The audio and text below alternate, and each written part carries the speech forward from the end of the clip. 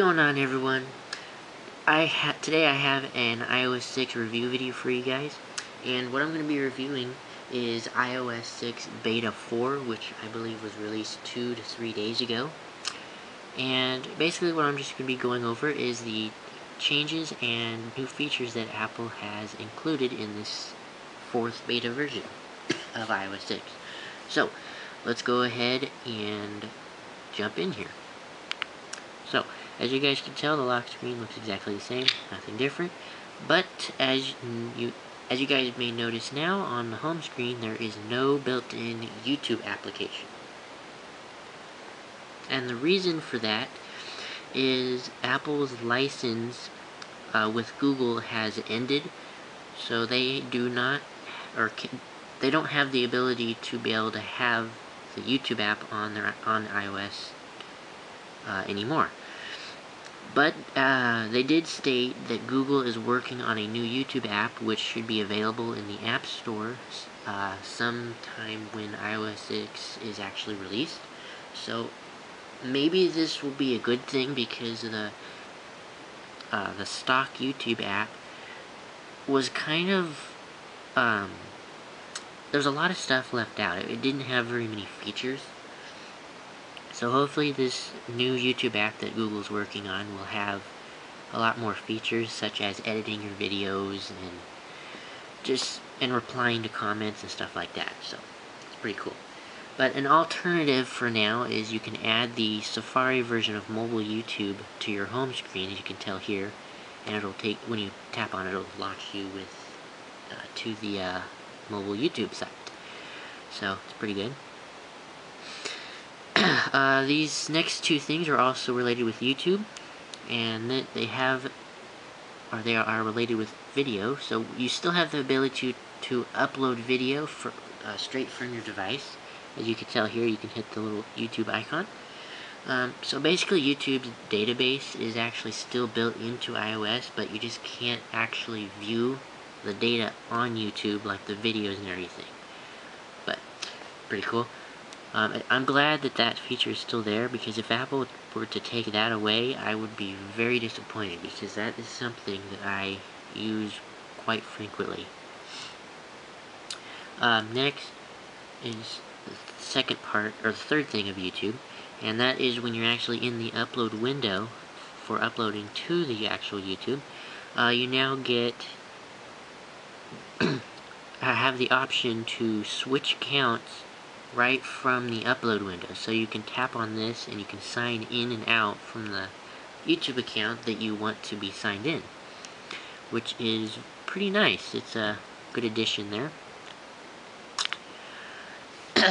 Next is new options in the privacy section in the settings app.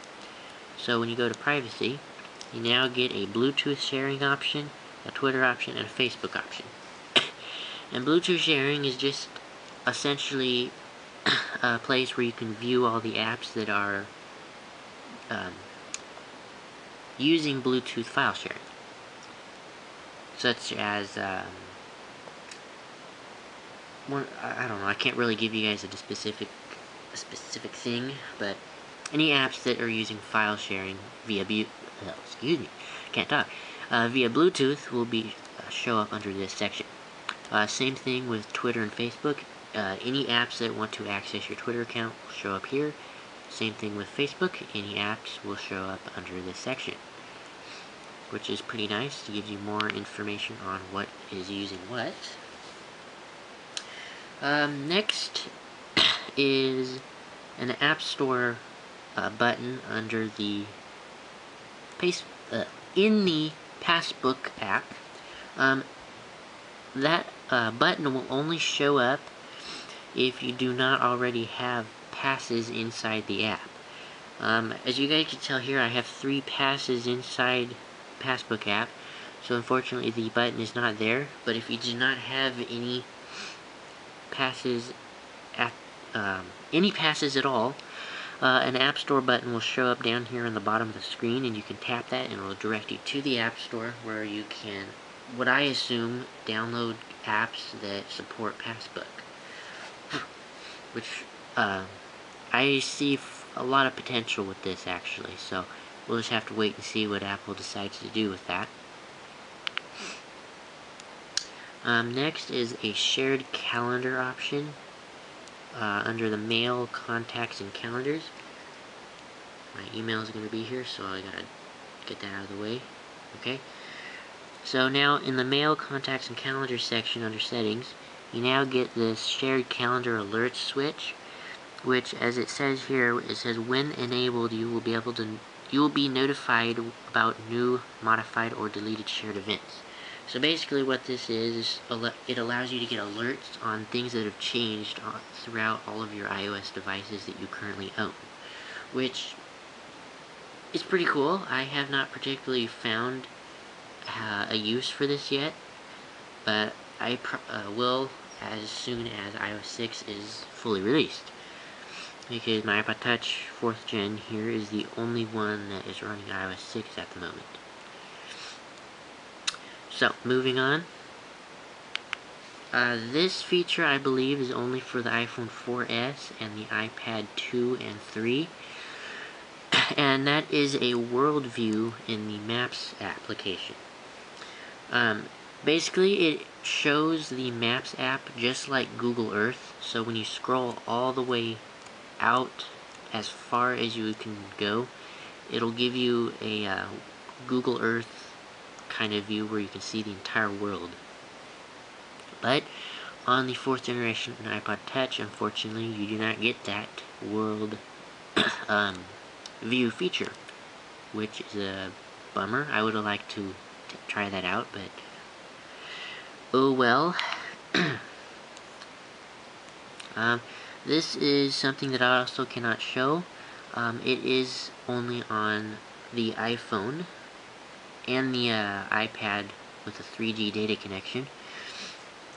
Um, it is called Wi-Fi plus cellular. And basically what that is, is if an app is having trouble accessing its data through Wi-Fi, it'll automatically switch to the 3D, uh, 3G data. So, it's pretty nice. Oh, I just got a bunch of alerts. Shut up. Okay. But anyway, that feature seems like it'd be pretty useful. I'd first have to try it out. Um, this is uh, another thing that I cannot show you and it has to do with Siri.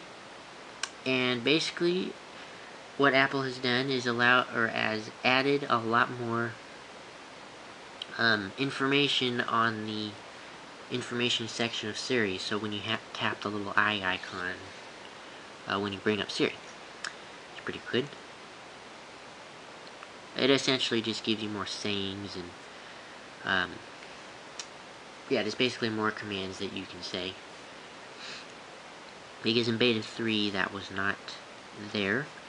Um, this next one is not actually a feature, but in iOS 6 beta 4, um, it automatically scales to a larger display, which um, I suspect is due to the iPhone 5. Um, this kind of points, points towards the iPhone 5. Uh, the resolution is 1136 by 640. So I'll put a um, uh, a picture right here on the screen showing what the icons look like when scaled to that new resolution. so moving on. This next one is you should you get a setup screen on iOS 6 Beta 4 when you're updating from iOS 6 Beta 3. So, I'm going to put some pictures on the screen showing that here in just a sec. So they should be right around this area. uh, but yeah, basically, it gives you a setup screen that looks exactly like what you would see when purchasing a brand new iOS device, where you get the setup screen uh, to configure location services, iCloud, Apple ID, um, find my iPhone, all that stuff. But all it gives you is um, to enter your password so you can set up iCloud, which um, is pretty odd. I'm not sure if Apple is going to have you do this every single time you update, but I, I wouldn't mind if they did. Uh, but anyway, next one is another thing that involves Passbook.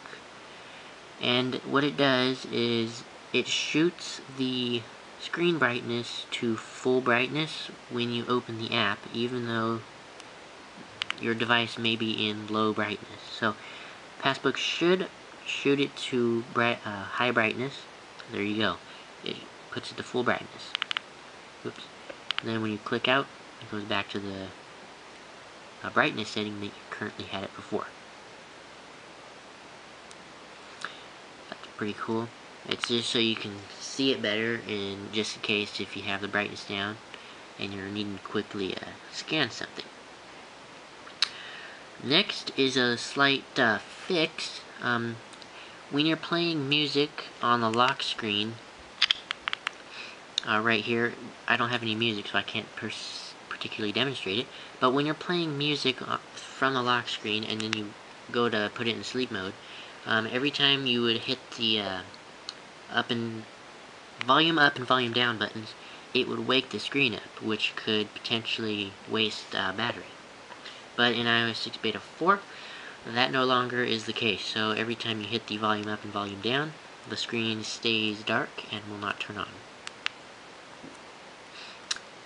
And last but not least is much more labels inside the Maps application. So let me go to a place that has a lot of restaurants and stores. So let me search for that town. There we go. Okay, now let me zoom in real quick.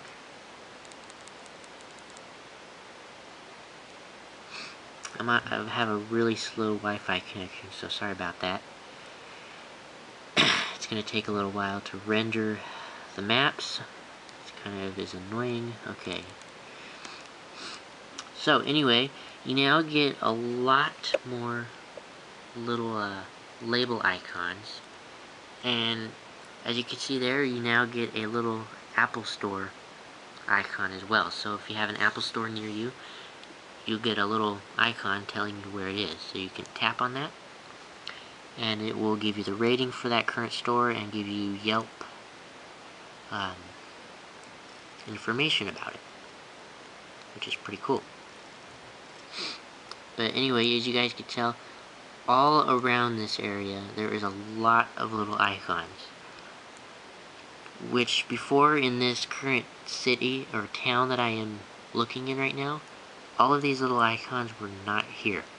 There's only a few scattered around, say over here, and a few over in this area. But, yeah, they've really enhanced the Maps app to have a lot more icons, which I personally like it gives me more information about restaurants. So, but anyway, that is the last feature that I have personally found in iOS 6 Beta 4. Um, if you guys have found any that I have missed, just go ahead and post it in the comments below. And yeah, thanks for watching. Uh, hit the subscribe button right there. Uh, thumbs up the video and comment below if you have any questions or any suggestions or anything you have found or anything like that, just comment below. And yeah, once again, thanks for watching, and peace out.